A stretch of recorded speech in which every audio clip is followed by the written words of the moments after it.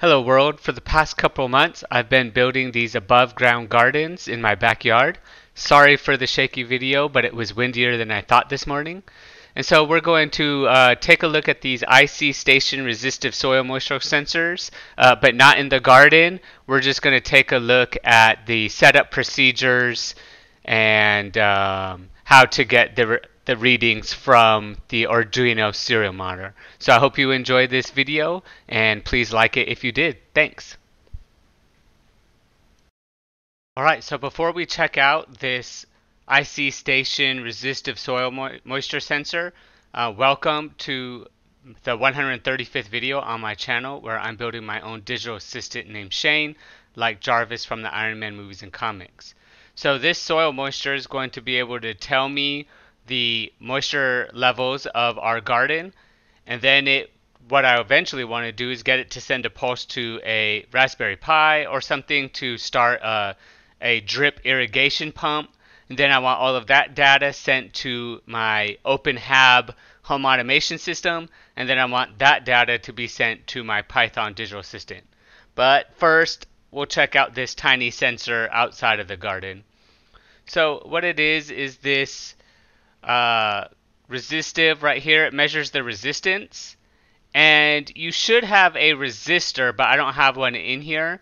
Um, and that's fine because I don't know how I'm going to set it up, like what kind of box. And so uh, you just buy these. These are really cheap.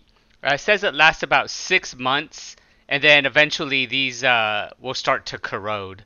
Um, so, but they're like two dollars each by itself, and it comes with a four pin and I hope it focuses for you. Okay, so you can see there are four pins there. I have the red positive wire to the far left, the black uh, ground to the second. There's an empty digital um, output, and then there is the green analog output. So I'm not using the digital output, that is a different reading that you can use. There's also this power light that's red, and then if you look above the red light, there's a resistor there that you can manually adjust the readings.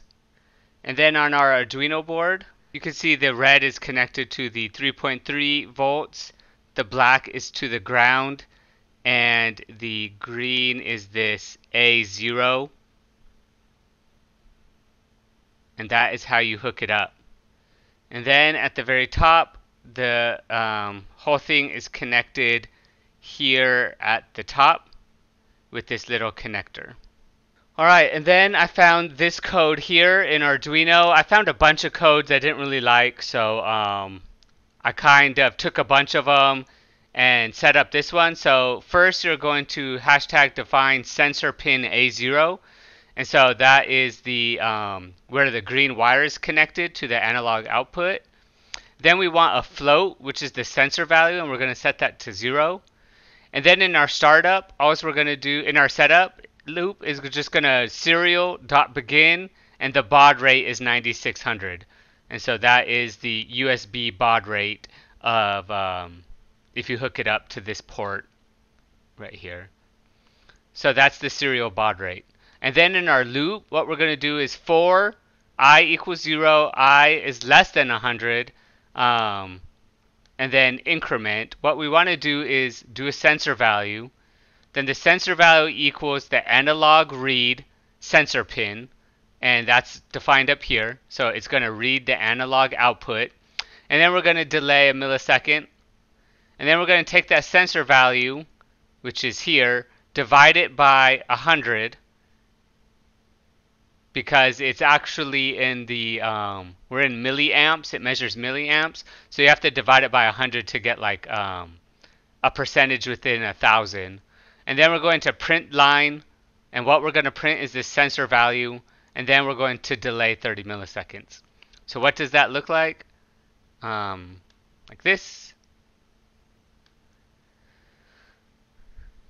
And so I haven't calibrated it. You can install a uh, resistor in there to calibrate this because this technically should be a thousand, if you will. So um, if I were to divide this by a thousand, I would have 67.1%.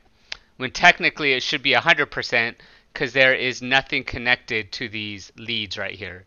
Um, so we can adjust the the resistor that comes with it here as well to get that to 100, but I'm going to wait until I do soil testing.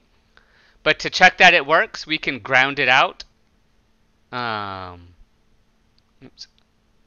We can ground it out, and what I'm doing is touching both of the leads. And as you can see, we're at 0.0 and some rounding, um, maybe the resistance of my little screwdriver.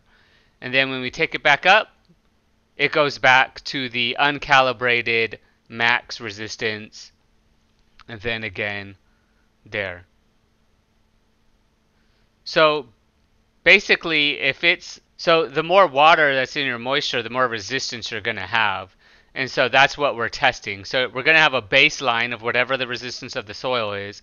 And as the soil becomes uh, more wet then it will measure the resistance and whatever resistance value I set it at, right, and we'll probably have to calibrate that in the soil, which we'll do in a new future video. I want it to send a pulse to either another Arduino or a Raspberry Pi. Um, and I have two garden boxes as you saw in the introduction of this video. And so I'll have two connected and what I can do is just, uh, as you can see there are six analog outputs. So A0 through A5 that's how computers talk. Uh, zero is the first index. And what we can do is have six of these sensors if we had to, or uh, just two of them. Send the pulse to a Raspberry Pi, and then that will start a, a pump with a relay connected to it. And um, once the resistance is where I want it to, to shut it off, it'll send that pulse to shut off the pump. So once again, um, this is this should be max resistance, so we can calibrate that. And then let me uh, short out these leads together. Then we have 0%. So pretty simple, not much to it. Um, I will put this code in the description so you can check it out if you need it to. Um, and that's pretty much it. So sorry about the bad quality. I had a my camera uh, stand break, so I'm using my kind of webcam, but you get the point. So please subscribe to my channel if you enjoy watching me build my uh, either home automation or garden, and uh, like this video and leave a comment if you're working on something or if you have a channel where you uh, you know you have an automated garden, because I would love to see everybody else's. Well, thanks for watching. Goodbye, world.